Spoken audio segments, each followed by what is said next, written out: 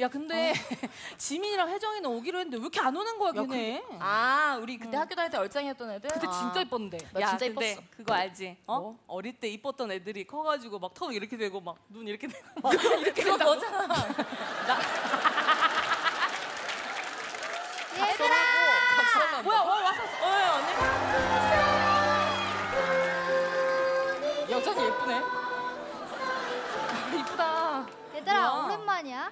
반가워 얘들아. 아 그래? 야 야야 오랜만이다. 오랜만이다, 야, 오랜만이다. 아 근데 여기 모임 장소 누가 잡았어? 청담이 좋은데 많은데 나한테 얘기하지.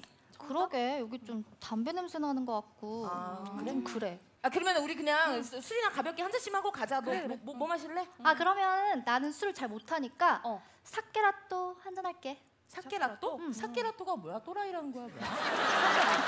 사케라또? 아 그거? 아 트렌디한 거 그거지? 어, 맞아. 아, 유행하는 거? 그래, 그래, 아, 그래. 그래 너 그거 마시자 마시고 가자. 야 근데 도연아 너 여기 오리 풀렸어 여기. 이거 어, 어떡할 거야? 아, 왜 그러지? 이거 이거 이거. 실밥인데 야, 완전 이거 다 튀어났다. 이게 잘 왜 안? 이걸로 해.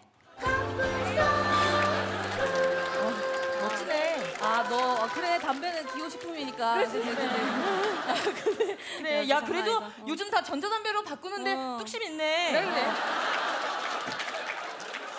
아 미안 고마워.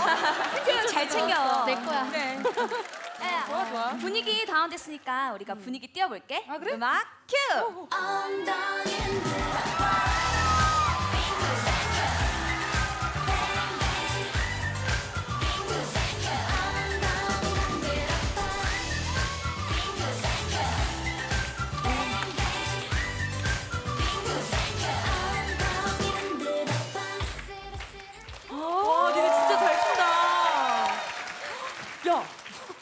근데 커피숍에서 왜 갑자기 춤을 추는 거야?